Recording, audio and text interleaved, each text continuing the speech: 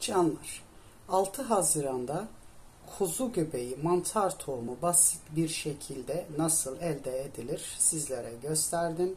Bugün ise 11 Haziran.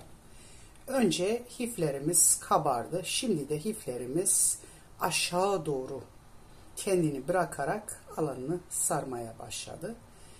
Ee, bunun e, 11. günde günlük bakımını yaptım. Günlük bakımını nasıl yaptım? Sabah erken camın önünde üstteki lastiğini açarak havalandırma sağladım. Temiz havalandırma sağladım. Ve tekrardan poşetimi bu şekilde bağladım. Ee, bu şekilde gelişimi bitene kadar günlük bakımımı yapacağım. Ama yaparken de tabii ki sabah erken yapacağım. Ee, havanın temiz olduğu, sineklerin olmadığı saatte yapacağım ki e, herhangi bir şekilde e, içine bir bakteri veya sinek girmesin.